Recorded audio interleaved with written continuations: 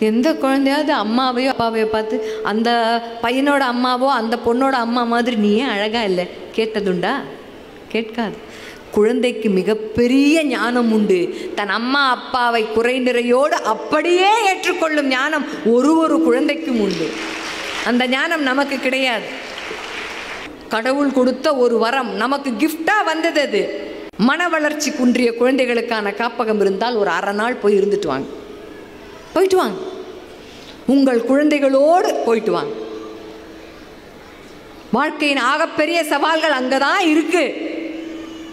என் வீட்டு எதிர்த்தாப்புலயே அவங்க வச்சு நடத்துறாங்க. இருபது குழந்தைகள் இருக்காங்க. கார்ல வந்து இறங்குறாங்க. பிள்ளைய தூக்கி இடுப்பில் வச்சுக்கிட்டு அந்த பிள்ளைக்கு பன்னெண்டு வயசுக்கு மேலே.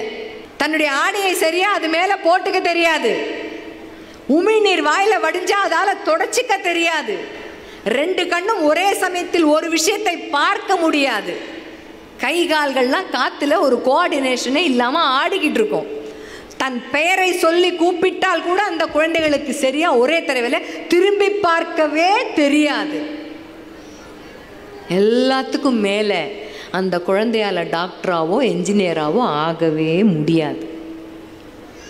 அந்த குழந்தைய தினம் இடுப்பில் தூக்கிட்டு போய் அம்மாவுக்கு டாட்டா சொல்லு அம்மாவுக்கு முத்தா கொடுன்னு சொல்லி கிள்ளி கொஞ்சி அதுக்கு ஒரு சாப்பாடை கொடுத்து டீச்சர்கிட்ட கொண்டு கொடுக்குறாங்க.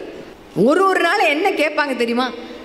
அவளே சாப்பிட கற்றுக்கிறாளா மிஸ் கீழே சிந்தாமல் அவள் ஒன் பாத்ரூம் வந்தால் சொல்கிறாளா அவள் துணியிலே போகாமல் சொல்ல தெரியுதா? துணி விலகினா மூடிக்க தெரியுதா? அந்த பேசிக் அடிப்படையெல்லாம் அவளுக்கு தெரிய வருதா? ஒரு தாயின் உச்சபட்சமான குழந்தையை பற்றிய எதிர்பார்ப்பு அங்கு அதுதான். எல்லாருக்கும் நம்ம குழந்தைகிட்ட. குறையே இல்லாத ஒரு படைப்பிடம் நாம் குறைய தேடி தேடி தோண்டி தோண்டி பார்த்து சந்தோஷத்தை நாமளே எங்கேயோ தொலைக்கிறோம்.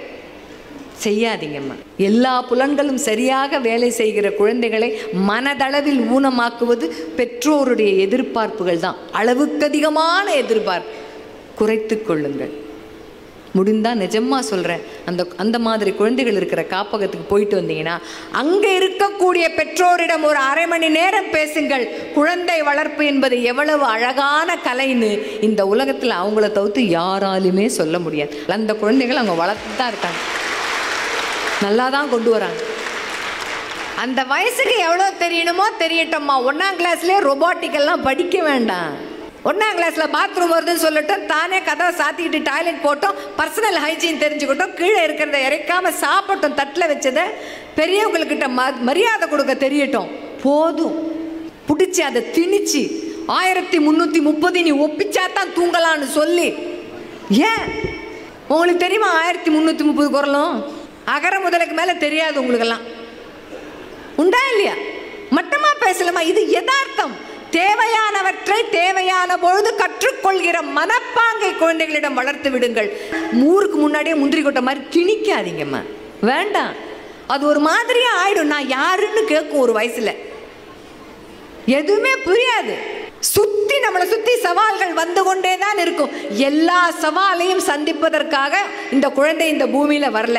அதால என்ன முடியுமோ அதை மட்டும் செய்யறதுக்கு தான் இந்த குழந்தை வந்திருக்கு. திணிக்க வேணாம். நம்ம அப்படியே அதை வந்து நம்ம தான் அதை ரிமோட் வச்சு அப்படியே இயக்கிறோம் மாட்டோம். பண்ண வேணாம். வாழ்க்கையை அது ரசித்து வாழட்டும். குழந்தைகளிடமிருந்து குழந்தை பருவத்தை நான் பிள்ளைய வளர்க்குறேங்கிற பேரில் தயவு செய்து யாரும் திருடாதீர்கள்.